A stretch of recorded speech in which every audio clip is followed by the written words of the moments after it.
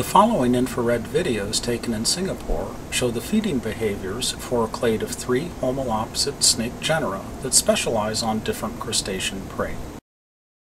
During their initial attack, Cantoria often pin the shrimp against the mud with their body before biting them. The following snapping sound was made by the shrimp.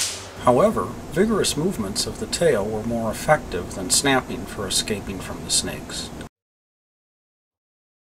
Swallowing usually proceeded from the tail to the head of the shrimp. Rather than forming coils all the way around the prey, Cantoria often just placed part of their body or neck on top of the prey to help restrain it during most of the swallowing process.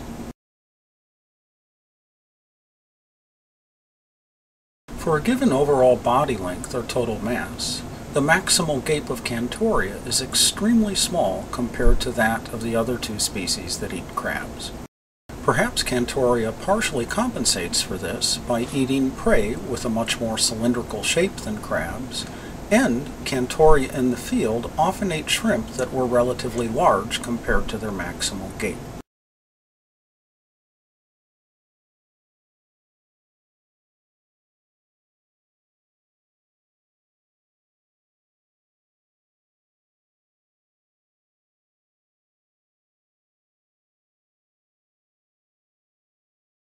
Although this species of snake has rear fangs, no effects of venom on the prey were observed.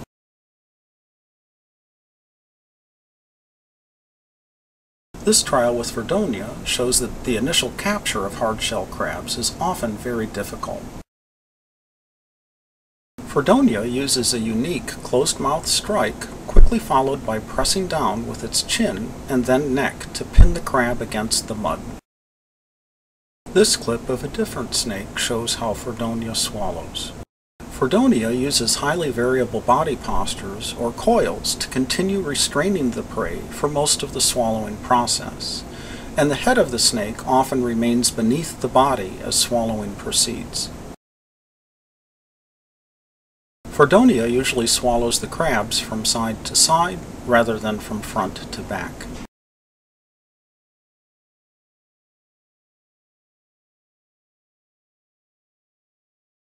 The large display claws of some crabs, such as the male Metaplax elegans, often complicate swallowing, and it took this snake more than 20 minutes to get past the first claw and begin engulfing the carapace.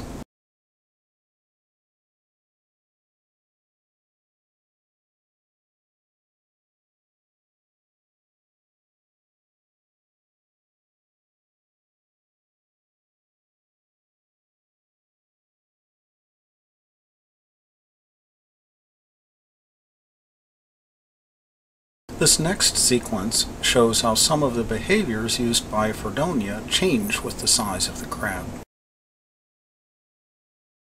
Especially when crabs were larger than 90% of the maximal gape area of Fordonia, they would sometimes break off a leg and eat it before consuming the rest of the crab. Sometimes this involved little tugging movements against the crab as it was being held by the body, and other times it just seemed as if the snakes would keep swallowing until they bumped into the carapace and then the leg would break off.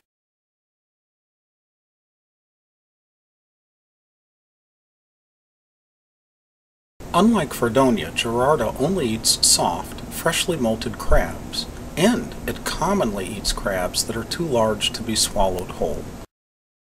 As is usual for snakes, the initial attack of Gerarda usually involved an open mouth strike.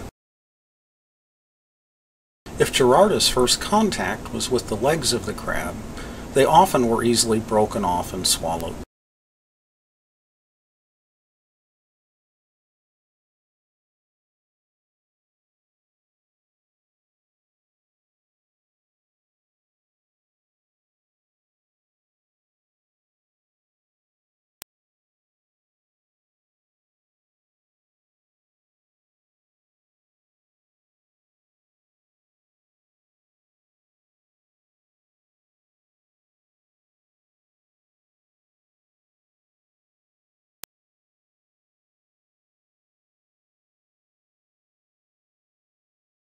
Gerarda usually starts to swallow the carapace of crabs from front to back, even though this increases the effective cross-sectional area of its prey.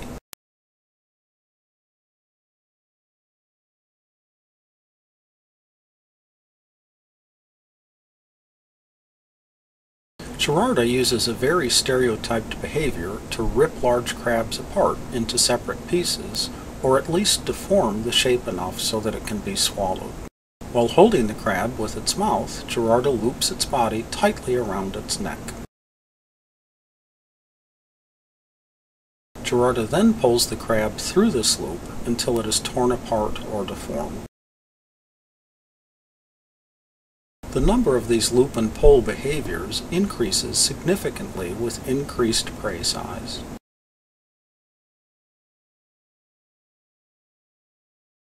As with all the other crustacean-eating homalopsids, we found no evidence that the rear fang venom apparatus of Gerarda affected its prey.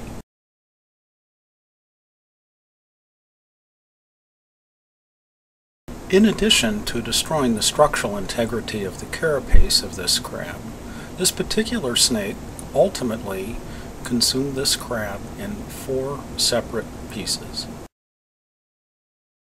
Also notice how rapidly Gerarda can consume a very large amount of mass compared to the other species of crustacean-eating snakes.